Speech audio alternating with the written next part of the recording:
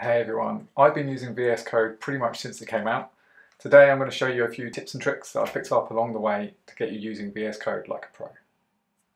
So the first thing I'm going to show you is how to open up your project in VS Code. Um, now obviously you can just go down and open up VS Code, but I prefer to do this on the terminal and I think it's probably the quickest way to do it. Um, so let's say you're going to create a new project. So let's create new test proj, new folder. Uh, now a couple of ways we can open this up. We can do code test proj, and that will open up in that folder. Or sometimes I like to do is simply go into that new folder, and then you can open up from there by just doing code dot. Um, now VS Code is opened up and you can start writing code for a new project. If you're on a Mac like me and that last command didn't work to open up code, um, that's because it's not on your path. Um, what you can do to do that is do Shift Command P, which will load up the command palette, and then type in shell, and you have that shell command, install code command in path. Click that, and you should get a nice message saying successfully, successfully installed. So next time you go and try that command, it should work. If you really want to become a VS Code Pro, then you need to learn the keyboard shortcuts. Now, to be able to get handy cheat sheet, which you can even print out if you want to, um, you do Command Shift P. This loads up the command palette. From there, you can do keyboard shortcuts by typing in shortcuts, and you'll get a, a help keyboard shortcuts reference link there. Um, press enter, that'll load up the keyboard shortcuts for your operating system. So in my case, it's a Mac, but uh, for you, it might be Windows. Now, some great things you can do to help you navigate around Visual Studio Code. Uh, one of the things I'll show you first is uh, how to quickly find a file. So if you do Command P or Control P if you're on Windows, uh, this will load up the, the search files uh, window. So there you can type in whichever you want to find. So let's say we want to go to, I've got a weather forecast thing here. You can search through and find particular file results and, and go down and go to the one you want to. So let's go to the controller uh, scroll up here. So here you've got the um, file all opened. If you want to go to a particular line, um, you can do Command P again. Uh, in this case, we're going to do colon um, and then type the line that you want to go to. Now, this is particularly useful if you've got a really long file. Um, so let's just say we want to go to line 38, press enter, and your cursor will now be on line 38. Another cool feature you can do to help you go through the code um, is again Command P. This time we're going to do the at symbol, uh, and here you can see the various functions that we've got in this um, functions and methods and names that we've got inside this controller. Um, so if you want to go to a function, obviously we've only got a get function in this one, but we can do get async, uh, and that will take us to this get method. So VS Code lets you edit multiple things at once, uh, and there's a few ways of doing that. Uh, so let's say we've got weather response here, uh, now when you double click on um, a bit of text, it's going to highlight for you every single place where that text appears. But actually it's possible to edit all of those at once. Um, so if we do Command D um, or Control D on Windows, you can see as I click through, it's going to highlight each of those um, items. From there, if we start typing, we will actually edit all of these at once, which is pretty cool.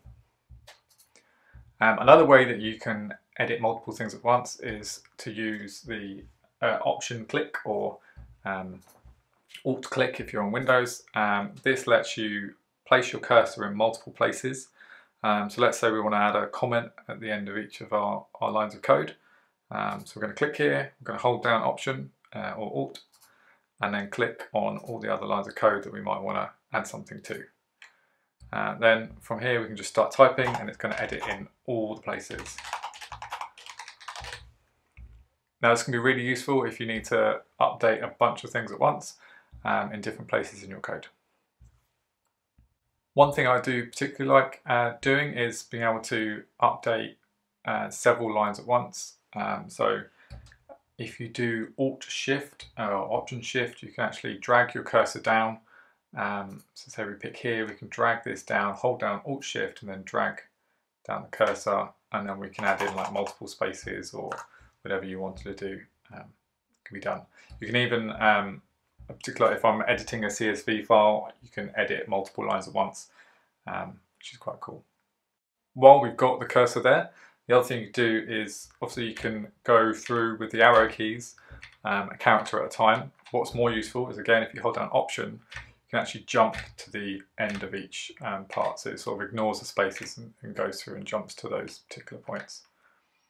So previously we edited the response word there. Um, there's a better way of doing that, especially if you've got multiple references or something throughout your code.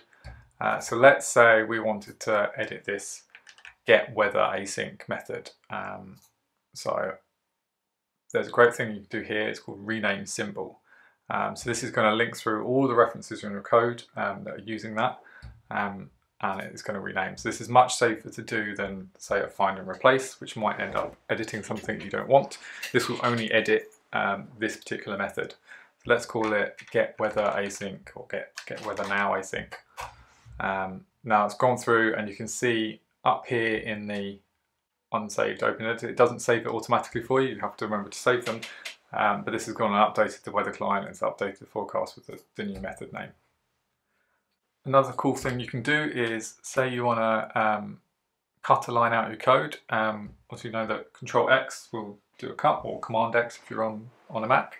Um, we can take this whole line out. You don't need to copy the whole line. You can literally just have your cursor on it, do Command X and it'll take the whole line. Um, and obviously you can then paste that where you want it. Um, such as say we want it down here for some reason, you can put that in. Uh, another thing you can do if you want to move around a particular line of code, um, you can use the Alt, hold down the Alt key uh, and then use the arrows and this will move that line of code um, around for you. Now one thing I find myself doing, particularly if I'm uh, trying to debug something or I'm um, making something you know obsolete, uh, is you might want to comment out a whole section of code. Um, obviously you can do this just by you know, putting in your comments um, for each line, um, but that's a bit slow. Um, or obviously you can do the, the shift option or shift alt thing and go through and select it. But actually there's a shortcut for it. Now if you select what you want to comment out, you can do command forward slash and that will do a complete section for you. Alternatively, if you just want one line, you can just do that while you're on, the cursor's on the line. I often find when I'm browsing internet, especially at work, I'll have 20 million tabs open. I find that on the same Visual Studio Code, when I'm working on a project, I'll have 10, 20 different tabs open, all pointing to different things. Now Visual Studio Code gives you a great way to navigate between all those tabs. Uh, so let's open up a few more things and I'll show you what I'm talking about. So I've got a few more tabs open here. One of the things you can do to navigate between all these different tabs is to use Control and Number. Uh, now this should work on both Windows and on a Mac. So if we want to go to the first tab, do Control 1, and same for the others, Control 2, Control 3, Control 4. Another great feature you can do with tabs is to be able to pin them. Uh, so say there's some tabs that you always want to keep open. Uh, the way we do that is you right click on a tab and you can see down here we've got the option to pin it. Um, now what that means is that it will always be there. Um, so if we were to do here and do close all, then we still keep our pin tab open. Um, so it's, it's a great thing to just keep those windows there. If you want to close a, a, tab that's been pinned, then you need to unpin it. You can just click it there, of course, right click and un unpin, and then it will allow you to close it. Now one thing that I find is that I, I'm often jumping around pieces of code. So say we started on our startup page, now we go to our controllers page and then we want to go back to where we were previously. And now you can do that by pressing Control minus and that will jump straight back to the point of code that you last worked on. And now you can keep doing this and it'll keep going back to the different points, which is really cool. One feature I use quite a lot is code snippets. So the way this works, you can basically type in a bit of code and then it will auto-complete what you want to type in. And a common one I do is a switch statement. Um, so let's type switch. And now you can see here the, the second option um, a switch statement. If you click on that, it actually auto-generate the, the main part of your switch statement for you. Um, this works with a lot of different methods. Now you can write your own. If we do Command Shift P uh, and we type in snippets, uh, we can do configure user snippets. Now there's a global snippets file that works across all instances um, or there's one specific to the project that you're working on. So we're just going to create a global snippets file here Um, you can call it what you want. Uh, I'm just going to call it snippets. And this will create your snippets file for you. Um, so it already comes with code ready for you to um, do. So in this case, it's got a print to console example. Um, so first we're just going to on comment all of this. Now this particular example uh, is obviously for JavaScript and TypeScript, um, but you can change the, the language scope that you want to use and edit it to what you want. Now I must admit I haven't written many of these snippets myself. Uh, what I tend to do is go to extensions um, and from there if you just search for snippets uh, you can then find snippets for all of the top languages uh, and save you a lot of time in, in writing your own ones. If you find yourself writing a lot of HTML, one really good inbuilt feature of VS Code is something called Emmet. Uh, now, I think this used to be an external plugin, but now they've basically built it directly into VS Code. Now, the way this works is we've got HTML page here, and we want to fill it out. So what we do is we'll type HTML, and you can see here we've got Emmet abbreviation. Now you can just click enter, and that will fill out the tags for you, which is great. Um, but let's say we want to go a, bit more. So let's say we want a, a body, not a biddy, a body with um, a div inside it. See, it creates both the tags, it creates a nested div for you. Now let's say we want uh, another div with uh, unordered list and say five list items. So you can do li times five and that will create five of them for you like that. So it's really powerful. Um, it saves a lot of time if you're writing HTML. One thing when you're coding that you're obviously going to be doing a lot of is creating new files. So we can do that really quickly in VS Code. So if we right click and do new file, obviously you can type in a new file, but say we want that in a, a nested folder, but we can actually type model followed by forward slash and then let's say let's say weather.cs. Now you see that's created our model folder as well as our, our weather file. This works with multiple nested folders. So let's do new file. I'm going to type uh, folder and then nested folder. Let's call it nested, nested, and then file.json. And you can see it's created the folder structure as well as our file inside there. Now another way you can do new files is by doing Command N to load up a new window, but you can see here that it's just a plain text file, um, which is a bit annoying if you're constantly working with C Sharp or another language and you want the new files that you create to be in the same language. There is a setting for that. If we go Command Shift P, load up this and then type in settings, we can open up our, our settings file. And then the setting you need to add in is files.default language. So let's just add it here at the bottom do files dot default and you can see it auto completes for you default language. And if we do command space it will auto complete and in this case we want to have active editor language.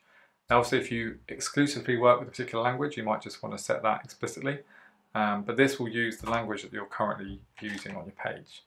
So let's get rid of our new file go back to our controller and do command N again. And now you can see we have a, a C sharp file rather than a, plain text file.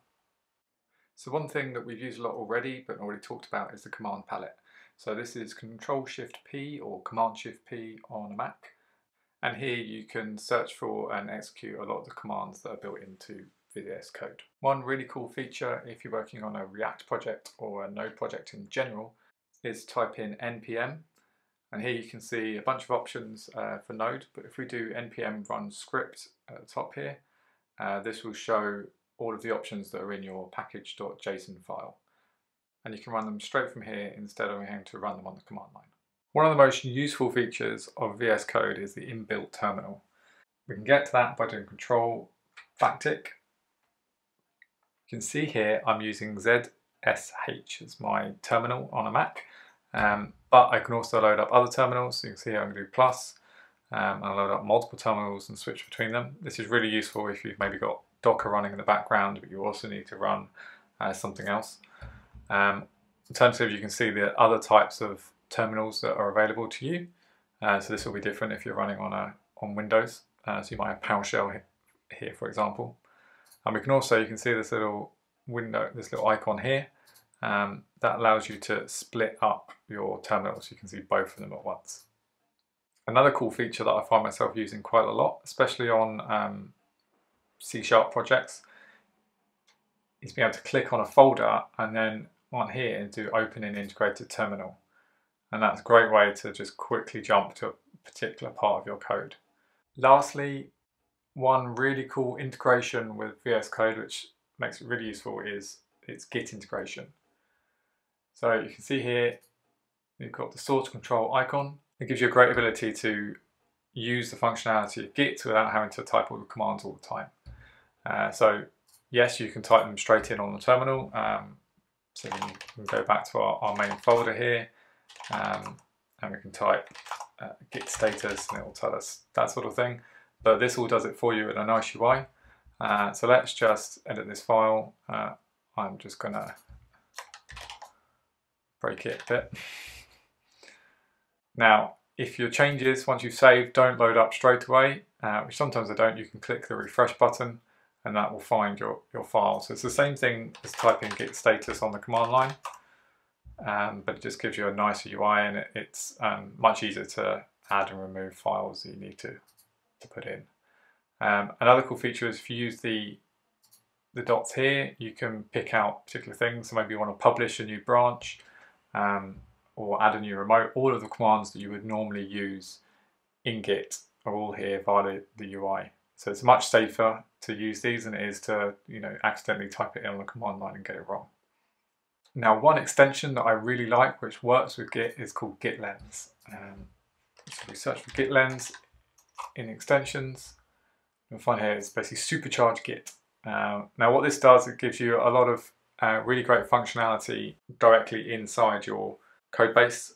If we go back to our file, we can see here on the current line you're on, it will tell you who edited that file, when it was edited, and the commit message as well. Uh, and if you hover over that, it will give you further details. Um, so you can even go to GitHub um, and see the, the commit there.